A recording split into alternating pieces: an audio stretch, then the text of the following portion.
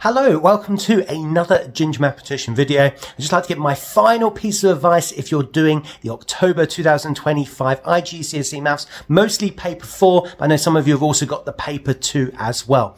My first key tip is to taper. So just like if you're running a half marathon or a marathon, you would taper towards the end and you should do exactly the same thing with your mathematics. You're doing very, very light revision. Perhaps watch one of my videos on a very specific topic, but don't try and cram lots in before the paper two or the paper four exam.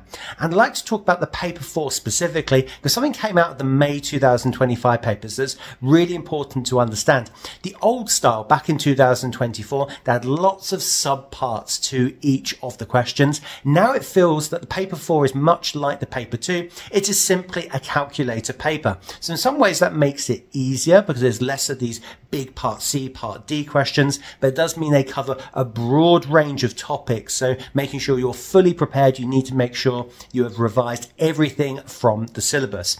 And if you're looking for that extra last piece of revision for that revision puzzle, so to speak, then check out my predicted paper, my predicted paper pack, papers two and four. Again, you can check out the video here, or you can check out the link in the description below.